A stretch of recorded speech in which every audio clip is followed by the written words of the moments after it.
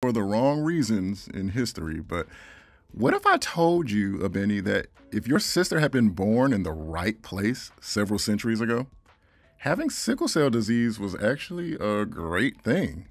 What? How could that ever be a great thing? Remember playing dodgeball in PE? Uh, we don't have any other classes at this school but yours. Uh, let, well, let's say you randomly picked up a yellow jersey that day, whereas everyone else wore the school colors. This would help you, wouldn't it? You would have an advantage over the others due to that random change. And over time, you'd be the last one standing unless someone else had a yellow jersey. And you'd be the only ones left to survive and reproduce. That's called fitness. Over time, that trait was naturally selected as being favorable to survive and reproduce. Natural selection is one mechanism or way that brings about the evolution of organisms, the change in heritable traits within a population across generations. Now, unlike you being able to choose your jersey, that change in the trait would have been. Oh, a random mutation. Absolutely. So, another example let's say we have a bacterium with a random mutation that gave it an advantage that helps it to survive the effects of antibiotics. This is called resistance, right? And the ones that are not resistant die off. But that leaves the resistant bacteria around to just survive and reproduce. And eventually, across generations, you end up with just bacteria that can resist certain antibiotics. And the same thing can happen with pesticides and bugs, right, Matt? and even the same with sickle cell. In Africa and certain other places of the globe, having sickled blood cells, which is a mutation, protected inhabitants from malaria, a disease spread by a parasite carried by mosquitoes. And it uses blood cells to reproduce, and it's very deadly. Oh, so like with sickle blood cells, you were safe. Right. And those with sickled blood cells were able to survive and reproduce much more than the others. But it depends on the environment. If you take those people and take them to an environment where malaria isn't a threat, over time, it won't be an advantage anymore. Well, that's cool with sickle cell, but we don't need any resistant bacteria. How have y'all learned all of this science and we haven't found a way to get rid of bacteria yet? Well, first of all, you're low key related to bacteria. Oh, he got you, bruh. Okay, everything is not a diss. There's actually evidence that we descend from a cell that is like a bacterium. In fact, there's evidence that all living things descend from bacteria. Hold up. My mama told me that all mankind came from Okay, we're not going to go there right now.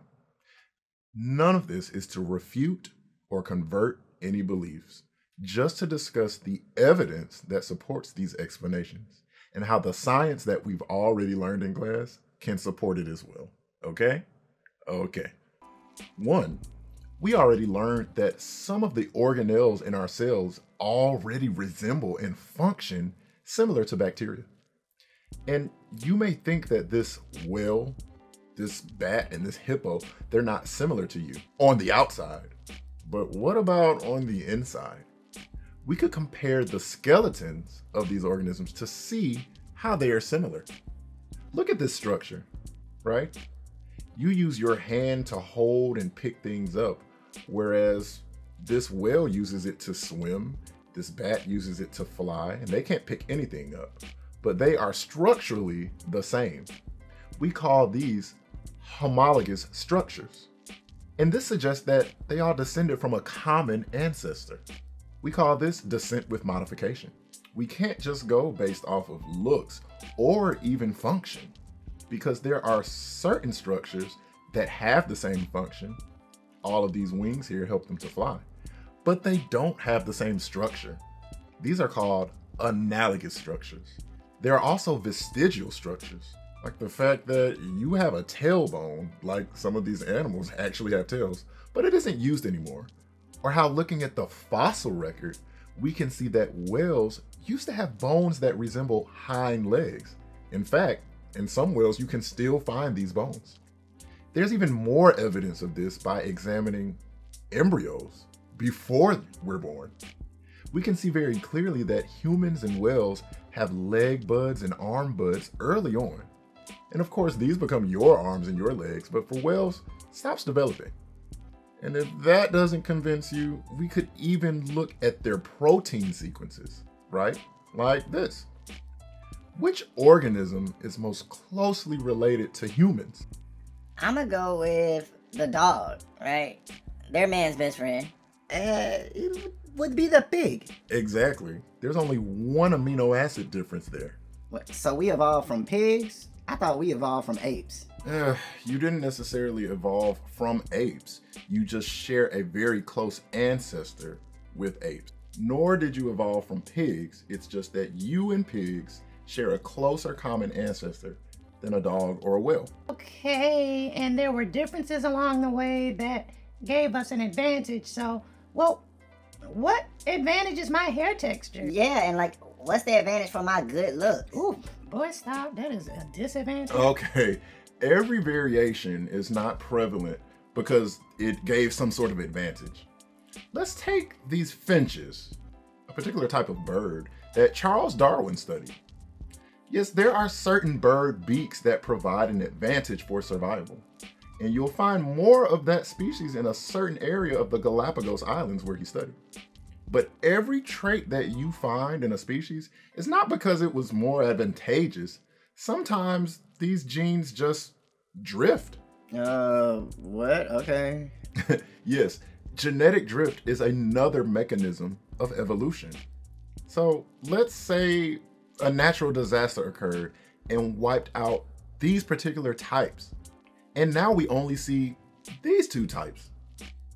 Or maybe they went to an uninhabited island and began reproducing there, and now that particular species is all we see on that island. It wouldn't be because they were more fit or had an advantage. It was just random chance that brought that about. And things like this can happen so much or over long periods of time that new species will form. This is called speciation. It can be due to barriers, which would be allopatric speciation. And sometimes these barriers aren't physical. There could be behavioral barriers like mating differences. This would be sympatric speciation. So you're telling me there can be all these different species of birds, but I'm supposed to be related to a pig and a whale and bacteria? Something's not right. We are not supposed to be in the same group. Hold on, I didn't say anything about you all being in the same group. But remember, biology is the study of living things, and there are too many of them. Just as we discussed how the environment they live in can be categorized as a hierarchy, the same can be done for living things themselves. Stay tuned. Stay tuned to what? Right. Gosh. Are we not paying attention? Like, I don't understand. What advantage is my hair texture? Yeah, and like, what's the advantage for my good looks? Ooh, boy, stop. That is a disadvantage. Okay,